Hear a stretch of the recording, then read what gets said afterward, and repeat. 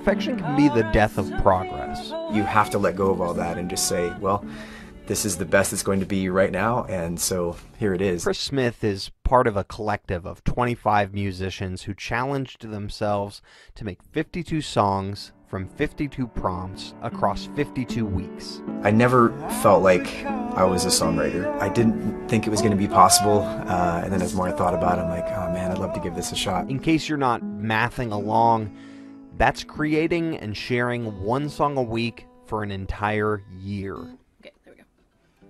Being fully immersed in creativity for a whole year, having to bust something out every week, like it's something you develop a relationship with. To an audience of otherwise strangers.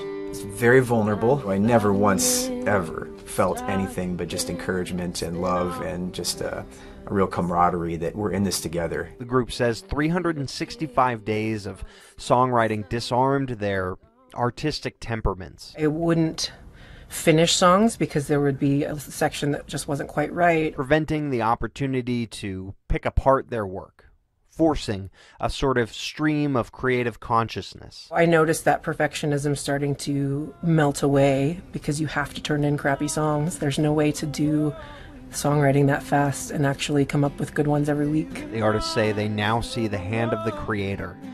The ghost in the machine, as journalist Ira Glass put it, is what makes music special. It's those humans parts, it's those aspects that are that are not on the grid, the acoustic guitars that are slightly out of tune, that are yeah, not in time perfectly, that grab your ear. After all, isn't that what making music, being human, is all about?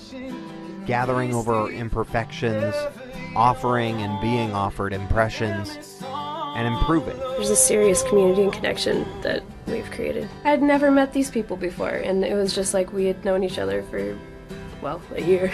Yeah. Marcus Cocova, MTN News.